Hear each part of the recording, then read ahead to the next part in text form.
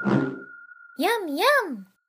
William Vaughan here with a quick introduction to channel sets in Modo. Channel sets enable you to display a collection of channels in the 3D viewport in an interface similar to the Channel Haul tool. To create a channel set, simply select the channels you'd like to work with and click the New Channel Sets button. This opens the New Channel Set dialog where you can specify a name for the set. Leave the options in the dialog at their default values to automatically add the previously selected channels to the set when you click OK. Modo creates the channel set and activates it, which makes the channel visible in the 3D viewport. This interface remains open until you close it, even when selecting other items in the scene. You can add additional channels from other items by clicking Add Selected Channels or eliminate target channels from the active set by clicking Remove Selected Channels.